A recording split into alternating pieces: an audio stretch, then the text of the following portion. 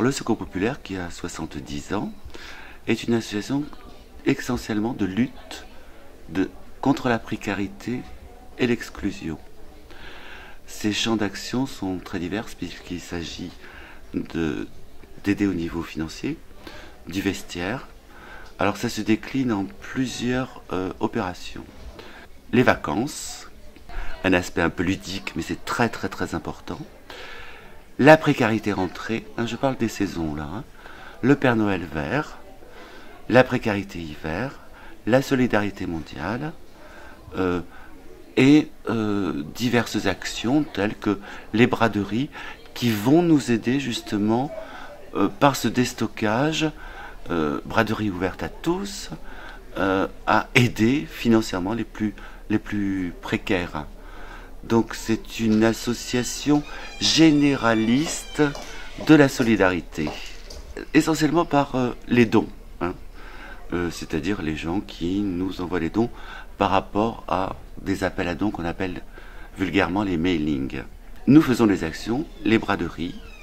À partir du 15 décembre, nous vendons des billets tombola jusqu'en mars dans la campagne Donaction.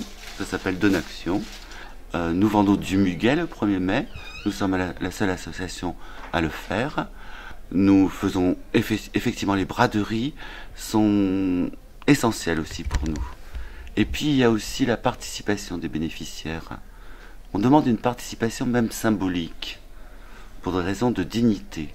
Les gens viennent ici, même si c'est 50 centimes, etc., on y tient.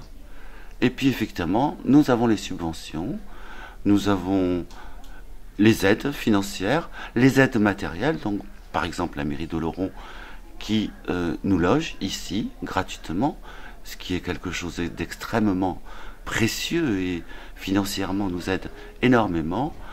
Je tiens à, dire aussi que nous avons une action déterminante.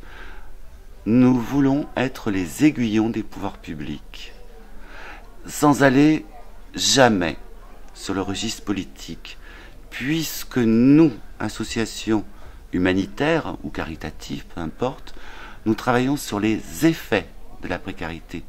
Nous nous interdisons de travailler sur les causes.